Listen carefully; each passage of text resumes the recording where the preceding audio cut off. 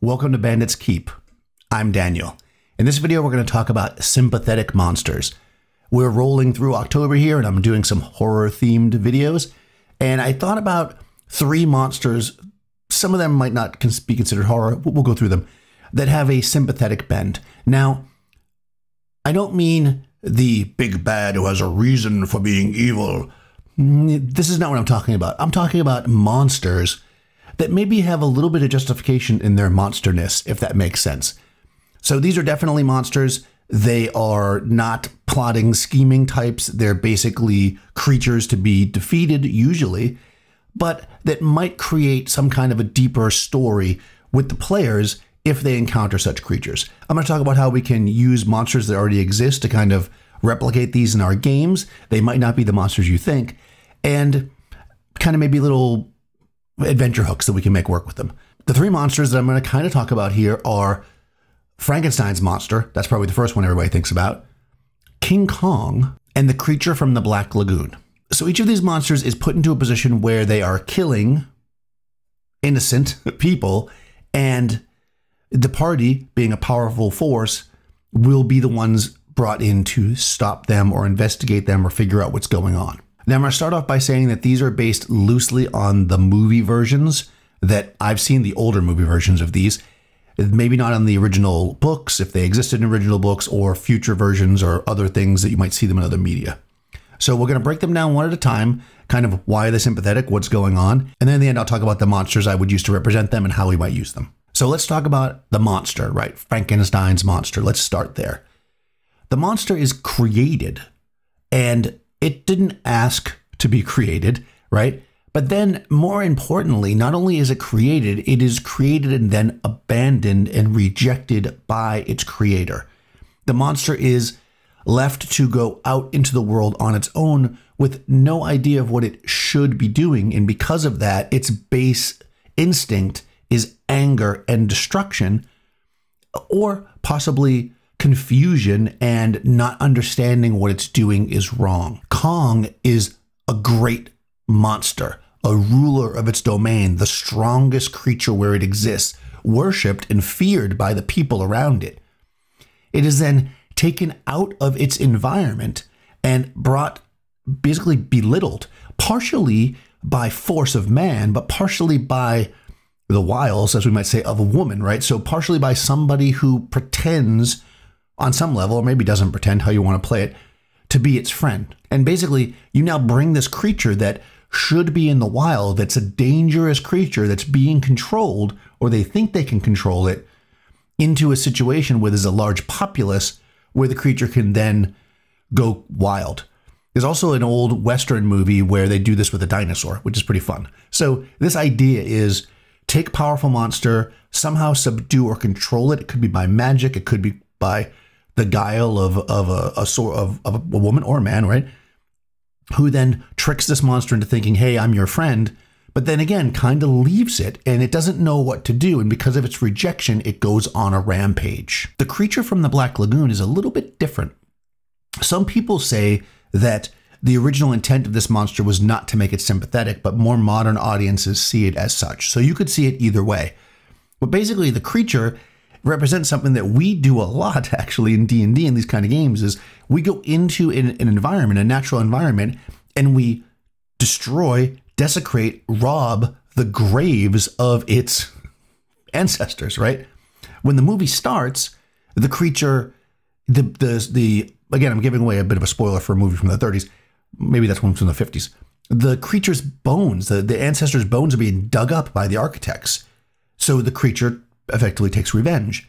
Then they go deeper into the creature's, the, the Black Lagoon, its private sanctum, to hunt it. And it's now hunted and defending itself. So, again, on some level, it is a near extinct creature that is being hunted by people to bring it back for whatever reason. So, the creature is defending itself, you could say. So, again, it can be seen as, as sympathetic. But how do we incorporate these things into our games. So let's start with the monster. So we could have two approaches with the monster that would work really nice. One is that the PCs are brought in because it's already on a rampage, right? They show up at a village, there's trouble. They're called, hey, you, you know, have swords and you're adventurers. Help us. There's a creature in the woods. It has killed people. It has killed peasants. It has killed children. Now they go after it. What is this evil creature out there killing things? But, you know, the creature again is on a rampage because it doesn't know what to do. And it's really a wild beast, even though its shape, its form is that of a man. The other option would be to have the PCs encounter the, the monster before it goes on any kind of rampage. So pretty much right when it's first rejected, maybe it's angry, maybe it's just scared, maybe it's trying to flee, maybe the however the PCs encounter it, you can play it lots of different ways. Maybe just roll a reaction roll and see what happens. But ultimately in this scenario, and even in the first, it should go back to the creator, right? The monster wants to take revenge on the creator or reconnect with the creator, however you want to look at it. So this is where we go back and find this larger plot. The monster is just out there doing its thing if you want a larger plot, there's got to be the creator. So, what do we use for this? A golem? No. This is the most obvious thing. People say, well, a flesh golem is Frankenstein's monster. Well, yes, in looks it is. But a golem in D&D sense is generally considered mindless and just follows the orders of the creator. Here we want a creature that's going to have its own mind. We want it to be powerful and we want it to be awkward and, and stick out in society. We want it to be strong because uh, it's got to be tough enough to fight a small party if they're going to address it. We'll talk about levels in a second. So I'm going to say an ogre is the perfect example here. Now, an ogre is generally larger than man, and if we read the book and we go by the original movies and stuff, like he's using bigger pieces, right, larger humans because it's easier to work on. The ogre is strong enough that it can battle a small party, especially first or second levels, and but not so powerful that it can't be taken out. And again, if you have this backstory and you tie it in properly and you leave clues and stuff, the magic user casting that sleep spell and dropping it easy is not going to be a problem because hopefully the party just doesn't go up and stab it through the head, right? They're going to see this isn't a regular ogre. It was still built. We still want to keep that golemish part of it where the alchemist or whatever created this creature. We want it to seem odd and strange. This will make the PCs investigate further to find this mad alchemist that's the really the true villain when you think about it. So again, let me roll back here and talk about levels. I probably should have done that first. All of these monsters are going to be somewhere for a low level party, first, second, third level. And the reason why I say this is if we use a high level party, you you lose the horror sense of it, right? Horror is uh, on some level about helplessness, and the more powerful a party gets, when you have a fifth, sixth, seventh level party with magic items and lots of spells, they're not going to be as likely to have to run from the creature when it goes on a rampage. They're not going to have to make a plan. They're just going to go kill it. Now, sure, you could use a giant or give it more hit points, but I don't think that makes it more of a horror creature. It just makes it a longer combat. So I think this is definitely something you could throw at a first level party, maybe a second level. An ogre against a second level party is going to be very deadly, and a single hit will be able to wipe out many of the party members, making the the the monster a tough opponent, but not so tough that it's a, a whole session of a combat, because that's not really the idea. And again, a magic user will be able to drop it with a single sleep spell. It's the rest of the story that's interesting. So how do we handle King Kong, right? King Kong is a big, huge thing. Well, you know, in the early in the original movie, he's not that big.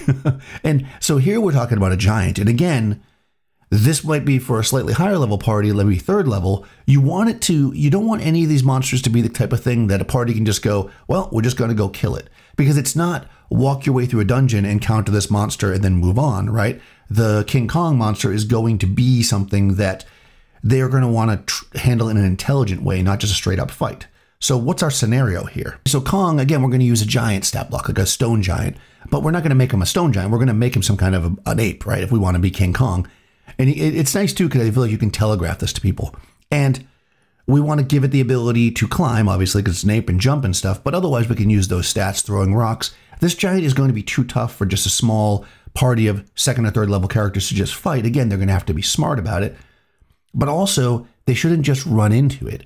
In the King Kong scenario, we want the party to either be part of a larger expedition that's going to capture the thing, which is kind of cool, but I like the idea of it being that the party has come upon this large gathering, maybe multiple villages together or at a city during a special festival, and they see the creature humbled. They see the creature captured. They see the creature torn down. Then, either while they're there or when they move to the next town, Kong goes on the rampage. So either while they're there or when they move on to the like in the middle of the night or whatever, or they're at the next town, that's when Kong goes on the rampage. Now they've got to go out and capture it or kill it, and they know that it was already humbled, right? And hopefully, if during this humbled period, they can meet the person, whether it be a man or a woman or somebody who used magic or whatever to help capture it that feels bad about the situation now.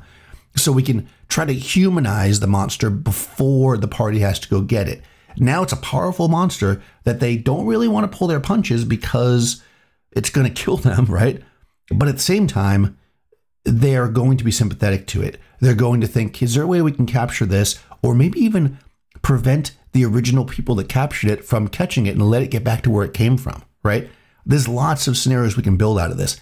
The idea, though, is to let the player characters witness this powerful force of nature, this huge beast, humbled, and feel a little bad for it. So that when it goes out there and starts killing people, they know that it has to be stopped, but they don't necessarily just want to go out there and put some poison on their crossbow bolt and go kill it. The creature from the Black Lagoon is a really interesting one because this one, unlike the other two, is something that we can have the player characters set off the problem.